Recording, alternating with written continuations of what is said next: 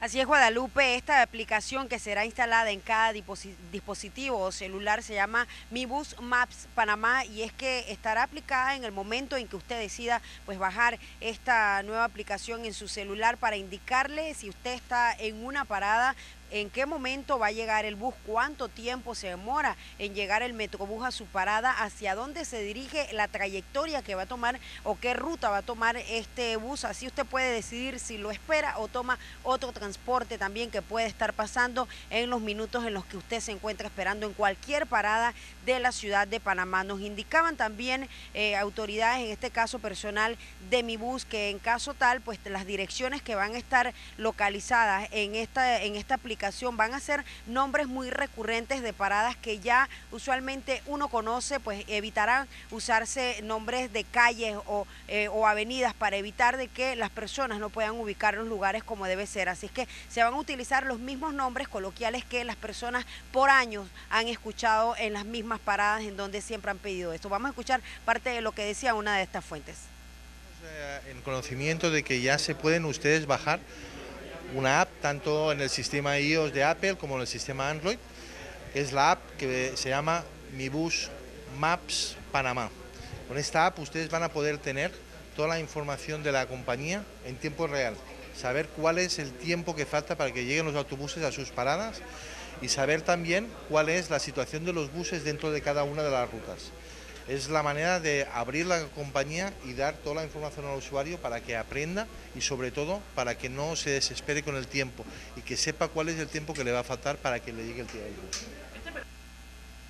Bien, así es. Mi Bus Maps Panamá es una aplicación que usted puede bajar en cada celular a partir de este momento para poder hacerle usted ese recorrido o ese viaje hacia su destino de una manera un poco más rápida y decidir si espera o no el metrobús o podría muy bien abordar un taxi en caso tal de que eh, la trayectoria sea demasiado larga o mucha espera. Así que es parte de lo que nos comentaban el día de hoy en conferencia de prensa, aparte de otros beneficios. Vamos a escuchar.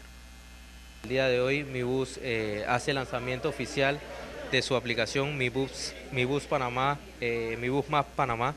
Eh, la idea de esto es poder brindar al usuario información en tiempo real de las rutas y, paradas del sistema.